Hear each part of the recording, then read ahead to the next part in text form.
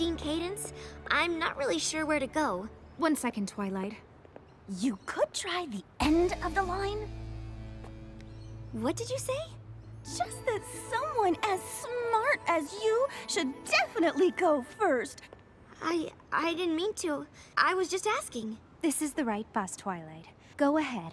But I didn't mean to cut in front. Well, it's too late now.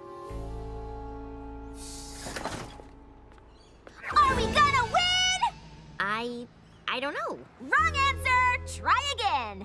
Are we gonna win? Um, I guess?